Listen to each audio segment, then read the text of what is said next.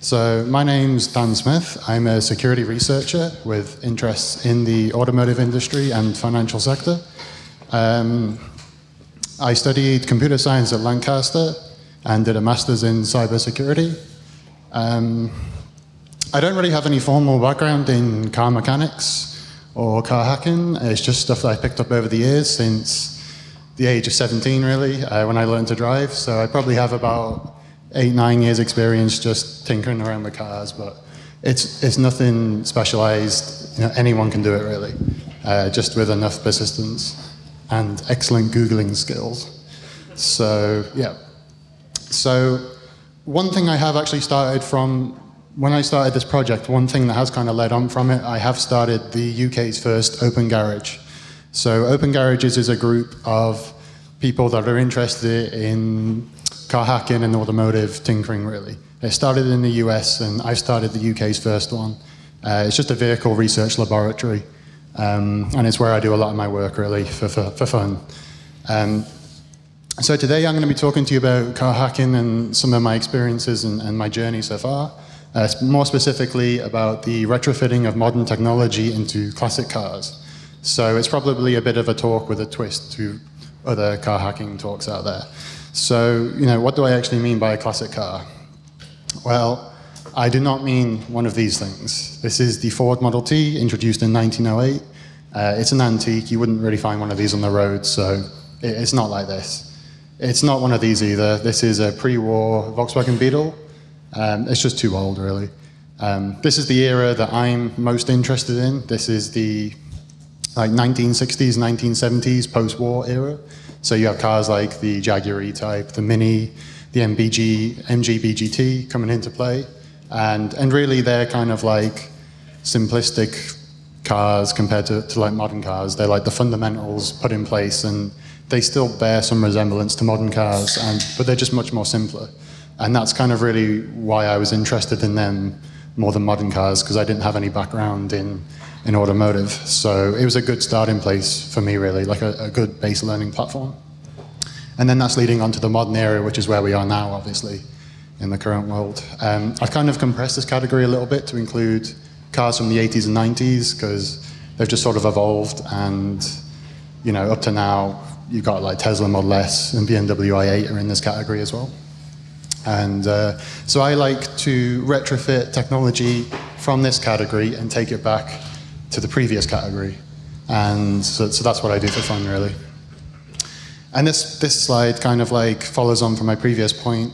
Um, the cars like nowadays are just so complex um, and so simple at the same time. Like you open up the engine bay of any modern car and you're just presented with this glorious piece of soul-sucking plastic.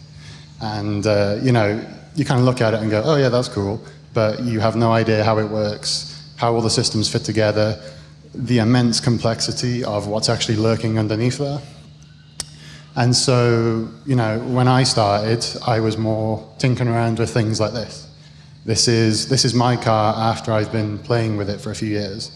Um, so it, it, does look maybe more complicated than the last slide, but it's much more simple than you really think. And um, you know, all the parts are nice and easy to play with, uh, easy to work with. Um, it's just so much easier as a starting point than starting off with a modern car. Um, so this is actually my car. This is the car that I do all my work on, really. Uh, this is a 1974 Ford Escort Mark One. Uh, it's my first car. I had it since, uh, again, I was I actually got this when I was 16, so before I could drive. Um, so when I first got the car, like eight or nine years ago, uh, it was pretty much stock, uh, as Ford would have made it in the 70s. Uh, no, none of the previous owners had really touched it. And um, I think most, you know, the most luxurious thing about it was it had a cigarette lighter and a rear, rear heated windscreen, which is kind of rare for, for, for this era. Um, so yeah, it was stock. It was a 1.3 inline four with a three-speed automatic gearbox. So first gear gets you going, second gear is your power gear, third gear is your cruise gear on the motorway, so it really was not good. Um, so version 1.1 of that, I uh, kind of modded it a little bit and changed the three-speed auto gearbox to a four-speed manual, and that kept me going for a bit. And then uh, when I went to uni, I started increasing the mileage that I was doing. So I was going up and down the M6 between my home and Lancaster. And uh, so I started really racking up the miles and needed something that would be, be a bit more fuel efficient, which was something that I was concerned about. So I decided to uprate the gearbox from a four-speed to a five-speed manual, uh, retrofitted out of a Ford Sierra, so that's from the 80s. So my car's just like jumped 10 years in the, in the future, really, in part of its drivetrain. And um, that, again, that kept me going for a while as well. And then towards the end of uni, I was like, what else can I do to make the car a bit more efficient? And um, this natu- naturally led me on to uh, starting to mess around with some of the engine and some of the components that fit around with the engine as well. Um, so that's kind of really some of the stuff that I'm going to be talking about today. And another driving force behind that, um, when I was at uni, I again was concerned with efficiency. So I really wanted a live miles per gallon uh, dash, like you know one of them little functions that you have in any car now that tells you how, how well you're doing based on your driving.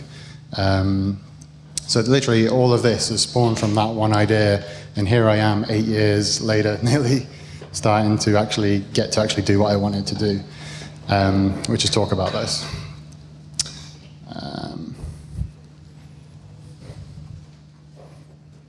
Yeah, so the three things I'm going to talk about today are we got efficiency, um, which is where I'm going to dis discuss uh, actually converting a car from uh, carburetors to fuel injection, and some of the stuff I actually did, both hardware and software.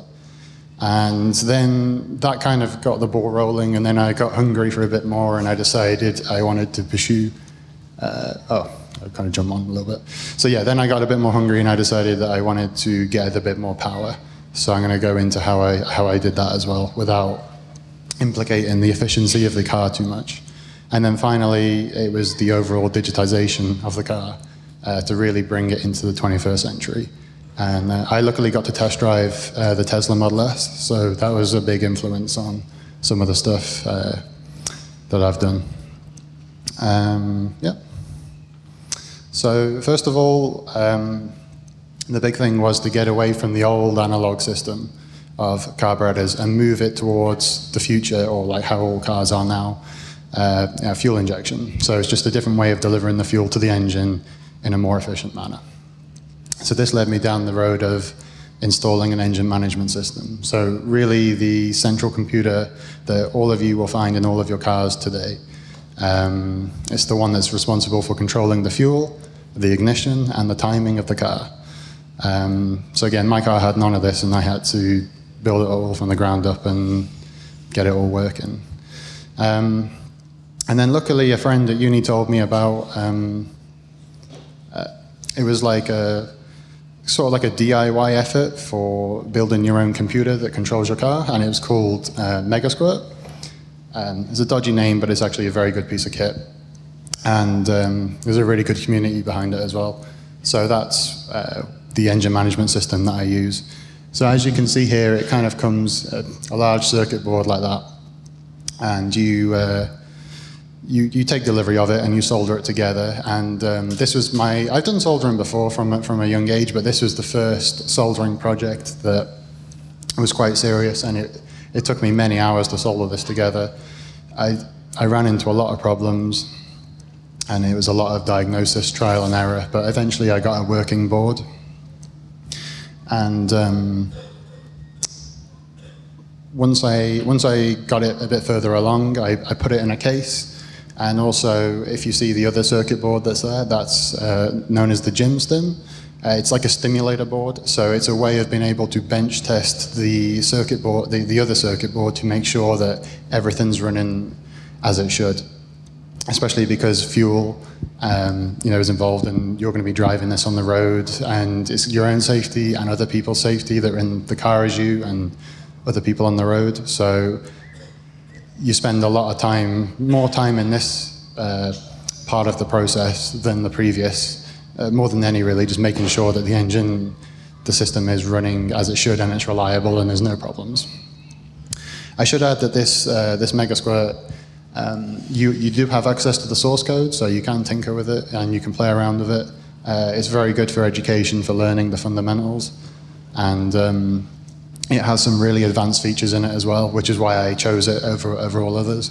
You can do cool things like water injection, which was, you know, taken, uh, you know, I think that was banned in the F1 because it made so much power in cars. You can do launch control, so you can, like, like all the Ferraris and the Nissan GTRs, you can launch at the traffic lights. Um, boost control, you know, all sorts of cool things that if you put the time and effort in, you can take full advantage of. And it's a fairly piece, it's a fairly cheap piece of kit. That's only about $500 from the States. Um, so yeah, I got, I got the computer all working, was happy with it. Next stage was, um, next stage was to actually start uh, fiddling around with the car itself. And so what you're seeing here, this is the VR sensor for the crankcase angle. Uh, it's literally the main sensor that's responsible for informing the computer, like sort of the timing of the engine. And uh, again, like this, this is a very sensitive piece of the, the car. Uh, it's probably the most critical sensor above all. Um, uh, yeah, so it's one of the main inputs, is what I should say.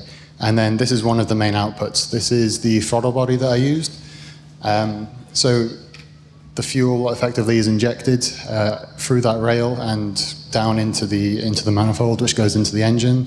Uh, so this is one of the main outputs. It's where the fuel gets injected into the engine. Um, all of this I had to build from the ground up. Uh, what I was trying to do was uh, like 40 years in the future uh, than my engine. My engine was from the 70s, and this stuff is uh, well, this was like 2010. So it, it was a lot of a lot of time and a lot of effort.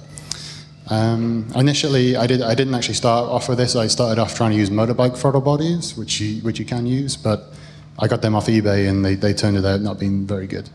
So, and then this is like the typical wiring diagram you can expect to be faced with when trying to do all of this. Initially, it was really overwhelming, but once you kind of break it down and go through it bit by bit, it's, it's really not that complicated. And this is much simpler than anything that you're going to find in any of your cars uh, today.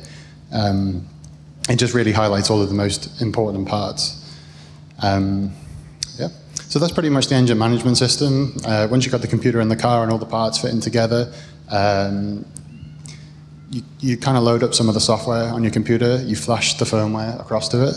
If you've made any changes in the code yourself, they, they get applied then and then you open up you open up another application, and then that's actually when you begin to tune the car and get it to to run smoothly.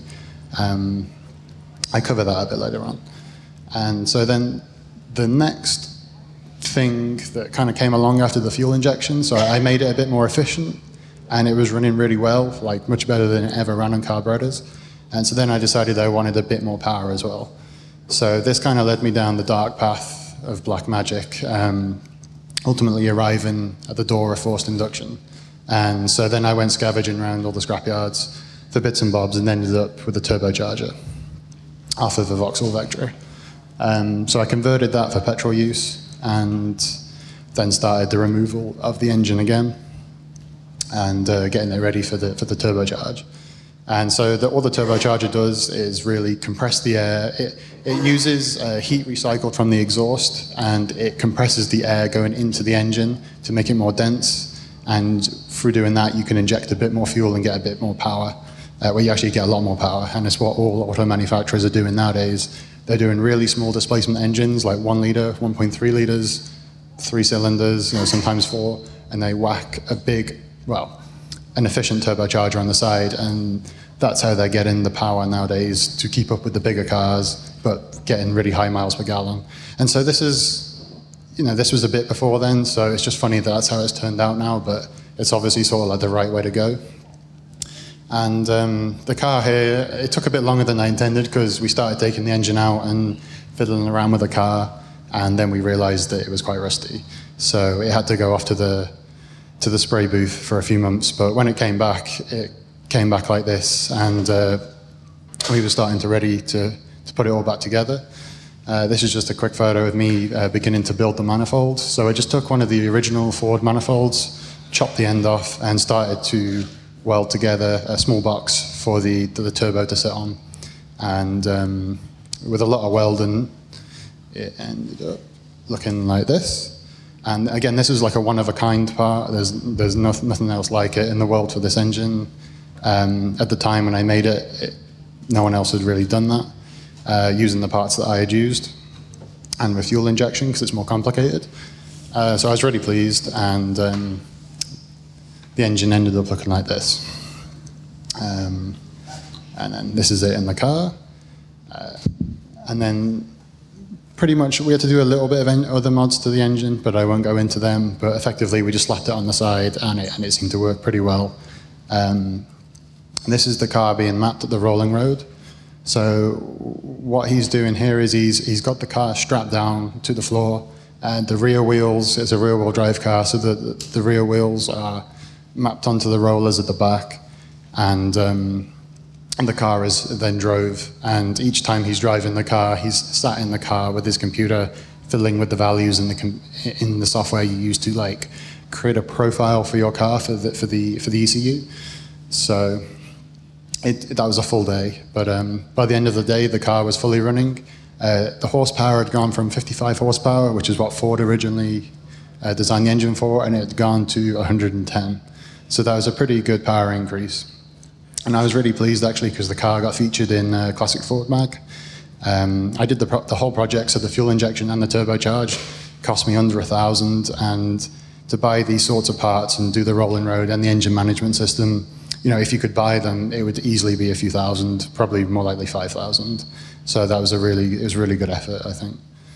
Um, and that kind of like leads me, so I got like efficiency, I, I got some power now, and that, then that kind of like led me to finally getting back to what I wanted to do, which was create a digital dash that allowed me to view my miles per gallon.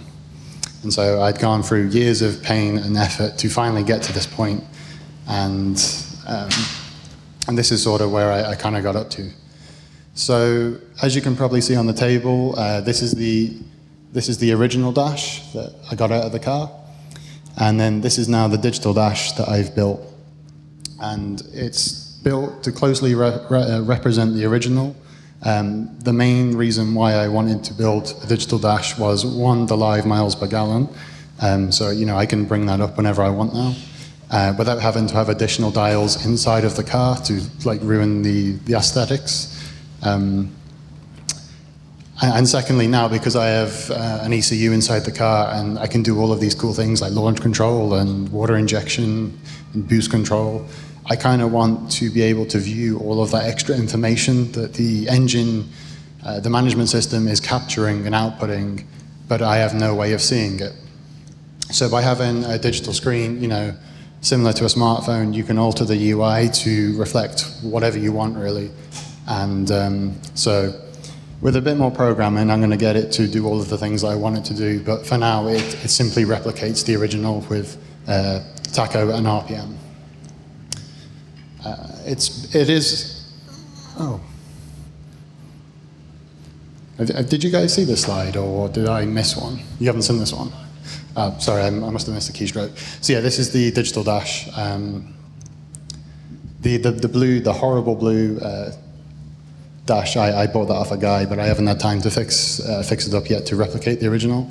Um, but, it, but it is very, very close. And it is powered by a Raspberry Pi. So there's an 8-inch uh, 1080p screen in there powered by a Raspberry Pi 2, uh, soon to be a Raspberry Pi 3, just for you know, free upgrades. Um, it was the first project that I'd actually used the Raspberry Pi 4 for, for like a, a larger project, not just like a little prototype. And um, it was interesting. I was trying to get it to boot up in under 10 seconds. Uh, to get a fast boot time, I didn't want to put the key in the ignition and wait for the computer to be booting up for like a minute, which is uh, some other examples that I'd seen on YouTube that people had done. So uh, in order to overcome that effort, I, um, I looked at a few of the distros that are available, like the, the slimmed down ones of Linux, and I decided to make my own. So um, it's running like a, a, customized version of Linux with minimal tools, only what I need to, to get the dash up and running as quickly as possible and, and display the information that, that I want. Um, this is sort of like the system architecture diagram for the dash. It's, um, it's mainly focused around the Raspberry Pi, and there's two shields. So there's the Sleepy Pi shield, which is responsible for more of the power management. Unfortunately, the Raspberry Pi, as good as a board as it is, it does not include very good uh, power management by default. Uh, you literally plug the cable in, it turns on, you shut it down, it stays on in a sort of low power state. You physically have to unplug the cable again to actually get it to turn off. So the first big problem I had with this dash was I could get it to turn on when I put the key in the ignition, but I could not get it to, in a, in a safe way, get it to shut down again. Uh, you simply just be turning the power off and, and the, the, the, the, dash would just lose all power. So keep doing that a few times and you're going to start corrupting you know, some of the operating system on it. So the Sleepy Pi is responsible for effectively listening for the external event from the ignition key being turned off, and then it's actually able to send uh, a command over the GPIO ports of the Raspberry Pi and get it to shut down in a safe manner. And there's also a watchdog timer that does a hard cutoff after 60 seconds if um, the Raspberry Pi is not shut down. So it, will stop your car battery from draining in a few days uh, if it does happen to crash on shutdown. And then the second shield that's on there is the CAN bus shield. So this is probably one of the only Mark 1 escorts in the world that actually has CAN bus retrofitted into it. And CAN bus is responsible for connecting all of the different sensors and devices in modern cars together and get them communicating. It's, it's really how they've, cars have become so much, it's really the reason why cars have become so complicated nowadays. It, you know, there's not like a wire to wire going everywhere. There's like power and then two wires and other data channels and you really can't, you really don't know what's actually going across them data channels. And um, so I've actually taken that and retrofitted it into my car and um, that is what is responsible for communicating with, uh, this is the ECU. So pretty much this dash, two wires going across, communicates with this, and this is, this is what sends information across to that and gets it to move the dials and such. I hopefully was going to get it working today, but unfortunately, just as I was putting it all together, the, the, the cable snapped and I was running a bit late at time setting up. So the dials would be normally be moving, but unfortunately, I, I couldn't get the cable working in time. And so some of the other things on the, on the, on the architecture diagram, I've got a 4G dongle, um, a Wi-Fi dongle, and a GPS antenna. So the 4G dongle I'm currently not using, but I, I do intend to use it. Uh, so at the moment, it's simply just a dash and nothing more. Um, I have lots of development in progress. Um, as soon as you put a 4G dongle in, into that, it becomes internet connected, and what you can do with it becomes a different realm. And, and you know that's what the auto manufacturers are starting to do now. Even with the cheaper models, uh, the volume models that they're producing, they're starting to make the cars internet connected to do weird and wonderful things. And um, I know a few of the auto manufacturers have started to run into trouble with cars being hacked and such. And you know, as soon as you put, uh, as soon as you make the car internet connected, you just open up to a whole new world of pain, of problems that you have to deal with. And so it is planned for me to make it 4G enabled and get it to do some cool stuff, uh, which is covered in the next slide. But right now, it doesn't have it, um, simply because I'm a little bit scared of it. Um, I also plan to put a Wi-Fi dongle into it, so you can uh, effectively share. Uh, the, you can take the 4G signal and it rebroadcasts it over Wi-Fi to anyone else in the car that doesn't have 4G. Just a convenience, really. Um, it'll have GPS in there. Uh, the, the Mark 1 Escort was featured in Fast and Furious 6, I think, and since that film came out, it was the car that Paul Walker drove in the film, and since since that film came out, they've just soared in popularity and a lot of people have been reporting having them stolen.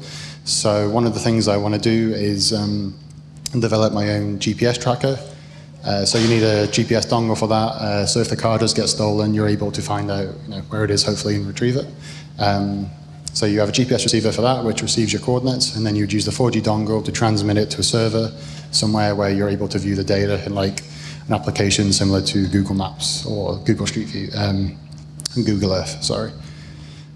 Um, yeah, and kind of like from a more security uh, perspective on, on that as well, some of the other things I, I, would like to have a play around with, with the Sleepy Pi, because it does use a, a really low power optimized Arduino to actually uh, do the controlling. Uh, so it does have quite a few more GPIO pins than the Raspberry Pi. So some of the things I would like to have a, an experiment with at some point is developing, developing my own um, key fob to do keyless uh, unlocking and locking, and um, as well as some of the central locking and you know maybe even like uh, keyless completely uh, NFC sort of style uh, locking and locking of the car of the car. Um, but that, that's all future at this point. And then um, a bit further on down the line, I'd probably say I'm nearly at the end of phase one now. But phase two is develop some server-side uh, technology to, you know, if the car is stolen, uh, the GPS coordinates are transmitted somewhere where you're able to view them. So I, am probably going to build some, some stuff for that and uh, have a tinker around with building some back-end services that, that can process all of that, as well as kind of take a leaf out of Tesla's book and as well as like copying their screen, um, sort of, uh, develop like a, an iPhone app that, you know, could potentially interact with the car and get it to do cool things like turn it on, turn it off, you know, lock, unlock, all of this like remote functionality. And, and, and I probably will make this project more open source so other people can contribute to it and um, be a lot more transparent than the automotive industry is at the moment. Uh, each automotive each automotive manufacturer seems to have their own way of make of, of making things and doing things, and um, there's not really much standardization. So this would be a way of maybe moving the industry forward a little bit more in that direction by offering a solution that is open that some of the larger automotive manufacturers maybe could contribute towards. I don't know. Uh, for me at the moment, it's just for fun. Uh, and you know, I, I want to be able to lock and unlock my phone, uh, my car from my phone, and by extension, my, my watch. Yeah. Um, so yeah, I. Oh, there is actually one more thing I want to try. Uh, it may work, it may not. It was working earlier, so I just need to take, take the laptop away for the moment.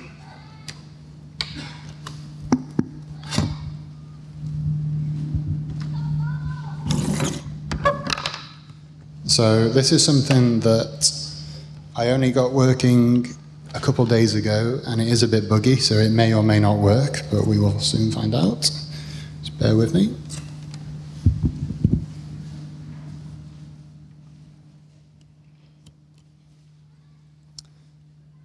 So, so I recently got an email um, and it was from Pluralsight, and they were telling me about some of the tutorials now that you can watch for Amazon Echo and Alexa. So Alexa is Amazon's effort to be an alternative AI to um, technology such as uh, Apple Siri, uh, Microsoft's Cortana, and OK Google. So Amazon's also got theirs going, and theirs is a little bit more open than some of the others. So you can actually interact with it. And I've managed to get an implementation of it running on a, on a Raspberry Pi here.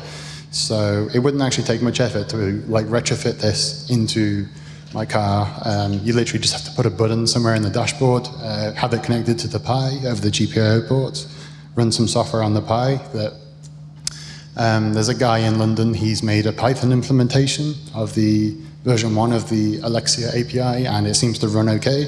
So that's what I'm going to try and run now, and um, we will see. So we will see. Hello? How are you? Great. Ready to help. Tell me a joke. What do you call a cow with a twitch?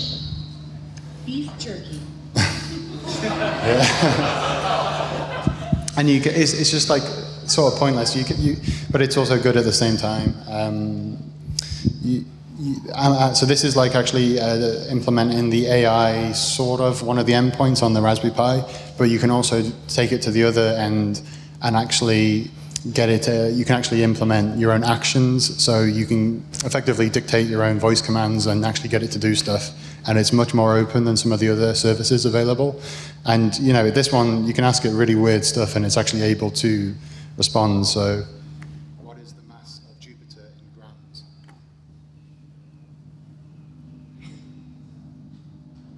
million eight hundred ninety eight octillion five hundred ninety nine septillion nine hundred ninety nine sextillion nine hundred ninety nine quintillion nine hundred. I think you get the, the idea.